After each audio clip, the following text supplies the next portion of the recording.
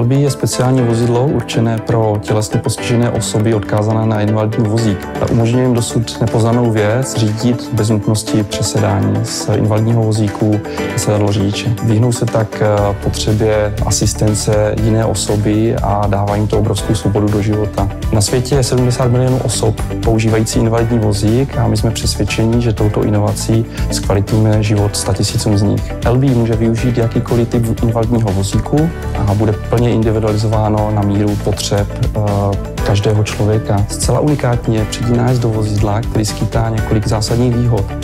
Vozíčkář vidí, kam parkuje, vidí, kam sklápí rampu a zároveň vidí, kam vyjíždí. Inspiraci na uh, otvírání těch dveří s tím, aby zůstalo řízení funkční po celou dobu, je velmi jednoduché. Je to vlastně princip deštníku. Představte si deštník, který zmenšujete do nějaké polohy a máte tu vodící tyč, kterou potřebujete zasunout uh, do sebe. Podobný princip byl využit i při této technologii. Projekt jsme mohli realizovat jenom díky kvalitnímu zázemí, které nám poskytuje naše rodinná strojírenská firma. Letos bude kusovým způsobem vyrobeno 25 vozidel, která budou předána eh, konkrétním zákazníkům a pro příští rok plánujeme uh, už malosériovou výrobu uh, s prodejním cílem 250 vozidel. Byli jsme přesvědčeni o tom, že děláme dobrou věc, ale musím říct, že nás překvapila míra pozitivní reakce vozíčkářů, když jsme jim produkt představili.